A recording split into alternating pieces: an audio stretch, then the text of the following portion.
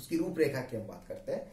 तो एनिमल्स जितने भी हैं आपके एनिमल्स को हम दो भागों के अंदर डिवाइड कर सकते हैं। प्रोटोजोवा और हम बात कर सकते हैं मेटाजोआ किस आधार पर हमने प्रोटोजोआ और मेटाजोआ के अंदर किया? प्रोटोजोआ मतलब जिसके अंदर एक ही सेल उपस्थित है, उसको हमने कहा है प्रोटोजोआ और अगर एक कोशिका से ज़्यादा कोशिका उसके अंदर उपस्थित है तो ऐसे एनिमल्स को हमने कहा है मेटाजोआ तो सबसे पहले हमने क्लासिफिकेशन का बेस रखा कि उसके अंदर नंबर ऑफ़ सेल्स कितनी है। अगर एक है तो प्रोटोजोआ उसको कहा है, और एक से ज़्यादा है तो उसको हमने मेटाजोआ उसको हमने कहा है। अब मेटाजोआ को हम आगे अगेन क्लासिफाई कर सकते हैं मिसोजोआ पेराजोआ और यूमेटाजोआ के अंदर। बेसिकली हम इसके अंदर पेराजोआ और यूमेटाजोआ की हम बात करते हैं। पेराजोआ नंबर ऑफ़ सेल्स ज़्यादा है उसके अंदर।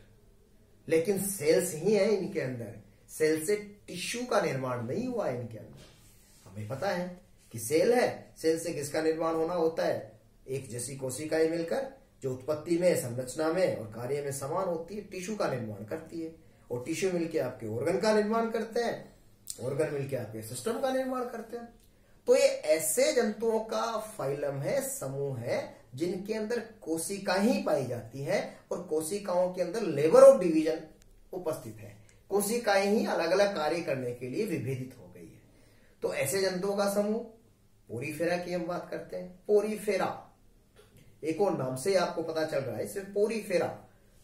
पोरी का मतलब पोरस, फेरा का मतलब धारण करने वाले। ऐसे जंतु हैं जिनके शरीर के ऊपर छिद्र उपस्थित होते हैं। पोरस बॉडी है जिनकी और इनके अंदर जो पोषण का है वो भी इनके अंदर कैनाल सिस्टम भी पाया जाता है। तो ये हमने पेराजोआ की बात की कि जिसके अंदर सेल्स ही उपस्थित होती है सेल्स से टिश्यू का निर्माण नहीं हुआ होता है और एक सेल्स के अंदर ही लेवर ऑफ़ डिवीज़न उपस्थित हो गया और एक कोशिकाएँ अलग अलग कार्य को करने के लिए रूपांतरित हो गई। नेक्स्ट हम बात करें यूमेटाजोआ की। और यूमेटाजोआ को हम आगे फिर क्लासिफाई कर रहे हैं किस आधार पर कि उनके अंदर सममिति कैसी है।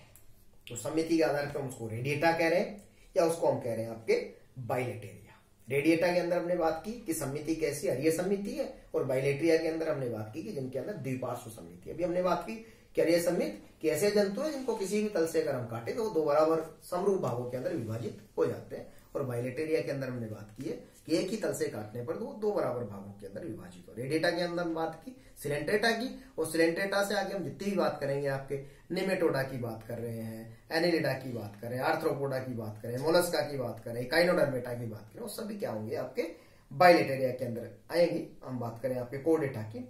अब बाइलेटेरिया को हम आगे बांटते हैं, उसमें सीलोम कैसी है?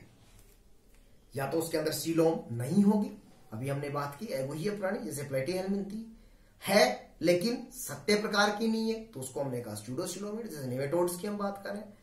और है वो ट्यूसिलोमेट्स प्रकार की है मतलब हमने बात की है कि जितने भी आपके निमेटोड से आगे के जितने भी आपके आ रहे हैं एनिडा मोलस्का इकाइनोडर्मेटा हेमिकोडिटा कोडिटा ये सभी कैसे होते हैं आपके?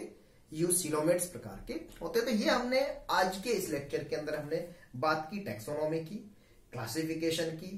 क्लासिफिकेशन के टेक्सोनॉमी की कितनी आपकी स्टेप्स थी किंगडम्स की हमने बात की बेसिस ऑफ़ क्लासिफिकेशन की हमने बात की आउटलाइन ऑफ़ क्लासिफिकेशन की हमने बात की।